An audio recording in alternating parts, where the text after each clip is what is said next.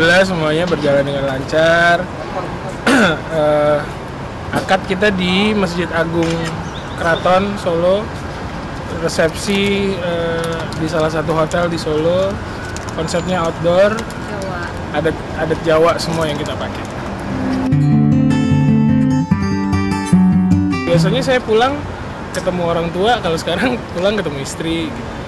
Sama memang ada ada hal-hal yang ada hal-hal yang berubah, misalnya apa namanya ya kalau kemarin pas masih bujang mau pulang jam 3 pagi juga nggak ada masalah. Gitu.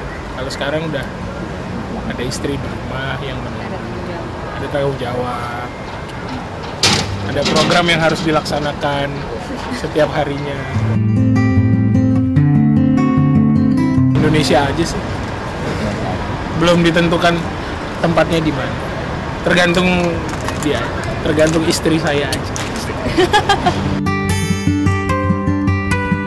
enam Kenapa? Kenapa dikit? Eh, kalau kalau 11 nantilah nunggu Piala Dunia selesai baru 11. Pengen punya banyak anak karena